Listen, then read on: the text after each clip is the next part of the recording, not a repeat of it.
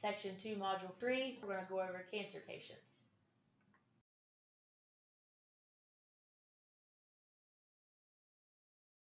Again, when you transport a patient to chemo or radiation, we must have documented the type of cancer they have. Again, you need to paint a picture of the patient's condition at the time of transport as to why they need a stretcher. Be sure to document any cognitive decline or confusion.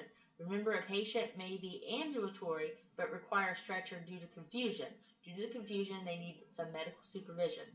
Again, also document at least three histories on the run sheet for billing purposes. This is the end of section two, module three. Please take the following quiz over this section.